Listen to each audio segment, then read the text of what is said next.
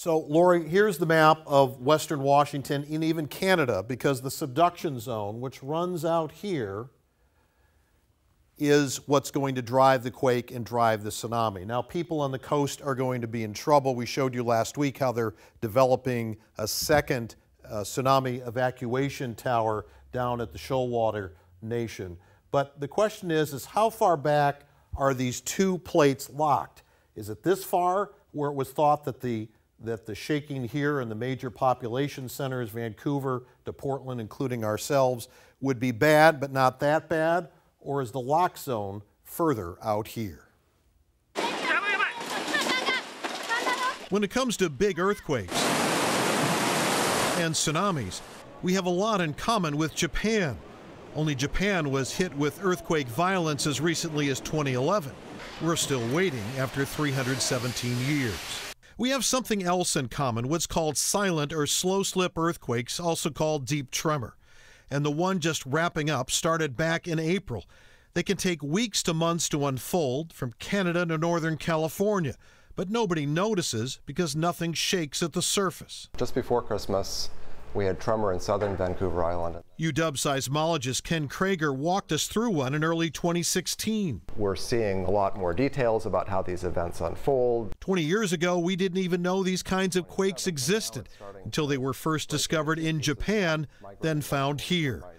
But Creager says science learns something every time they're recorded. Uh, tremor from December 23rd. How does this work? I've been showing you this graphic of how the ocean plate and the North American plate are locked together and once released create not only a tsunami, but a really big earthquake. The question is, how locked together are these plates?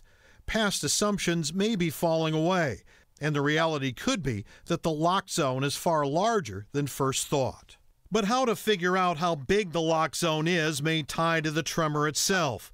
Where we detect tremor with all those dots, the plates are slipping past each other harmlessly deep inside the Earth.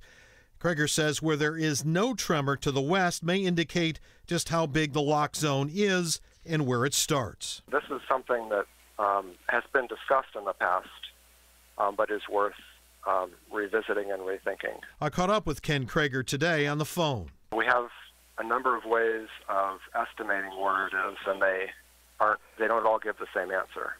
So this is one of several possibilities, and I wouldn't necessarily say it's the most likely one.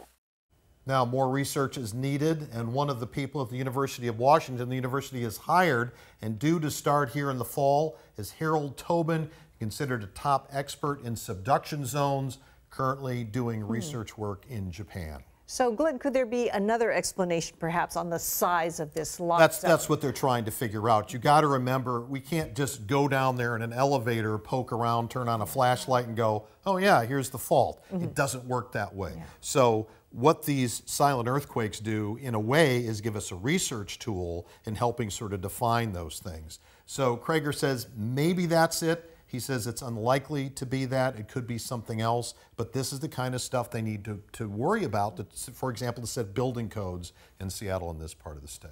All right. Glenn, thanks.